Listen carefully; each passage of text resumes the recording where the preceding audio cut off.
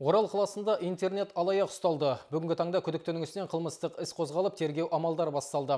Алаяқтық кінәсі дәлелденген жағдайда 3 жыл бас бостандығынан айырылу жазасы күтіп тұр.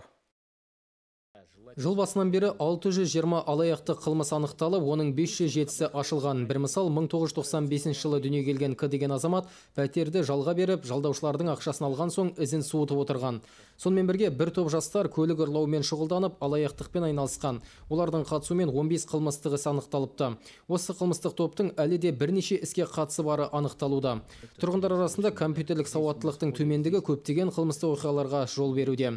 Зеленов ауданының тұрғыны Елена 25 адамды алдап соққандығы анықталып отыр. Ол ол азаматша инстаграм whatsapp желісінде группа группа құрып сол группада бала сәбилердің жана балалардың киімдерін сатамын деп жарнама берген. Алғыңыз келсе алдын ала осындай осындай киви кошелекқа ақша салып жіберіңіз. Заттарыңызды үлестіріп берем таратып берем деп алданған. Бүгінгі таңда біздің орал қалалық ішкі істер басқармасына 25 адамнан астам арыз түсіп іс қозғалып жатыр.